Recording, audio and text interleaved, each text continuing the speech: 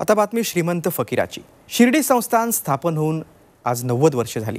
पहिल्या वर्षी शिर्डी संस्थानचं उत्पन्न होतं निव्वळ तेवीसशे रुपये. आता मात्र संस्थाननं कोटीच्या कोटी उड्डाणं घेतली आहेत.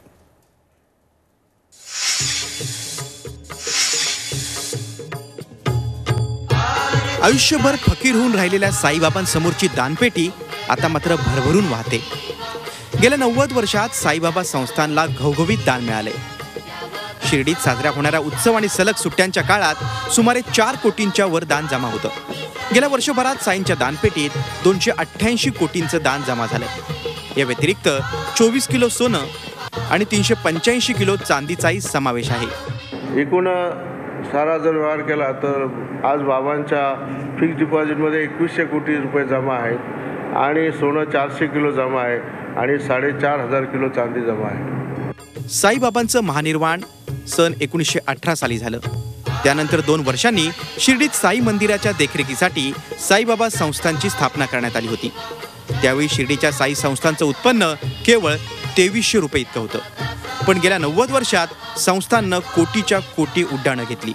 या ठिकाणचे जी काही डेव्हलपमेंट आहे साईबाबा संस्थांची असेल किंवा नगरपंचायतीची असेल त्या डेव्हलपमेंटसाठी खर्च केला जातो.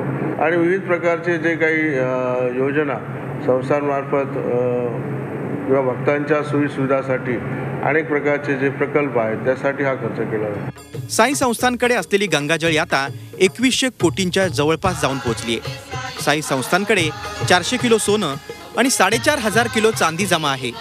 या व्यतिरिक्त संस्थांची स्थावर आणि जंगम मालमत्ताही मोठी आहे. साईबाबा संस्थांचं वार्षिक उत्पन्न साधारणतः चारशे कोटी रुपयांच्यावर जातं. एकोणीसशे वीसच्या दरम्यान साई संस्थांकडे असलेली तांब्या पितळ्याची भांडी बदलून चांदीची करण्यात आली. या सगळ्या उत्पन्नातून साई संस्थांमार्फत शिर्डीत दोन रुग्णालयं चालवली जातात. शिर्डी नगरपालिकेलाही साई संस्थान विकास कामांसाठी निधी देते. गेल्या नव्वद वर्षातला साई संस्थांचा प्रवास आणि उत्कर्ष थक्क करणारा आहे. श्रद्धा आणि सबुरीवरचा विश्वास दिवसेंदिवस दृढ होतोय.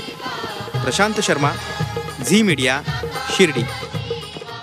Zee चोवीस तास रहा एक पाऊल पुढे.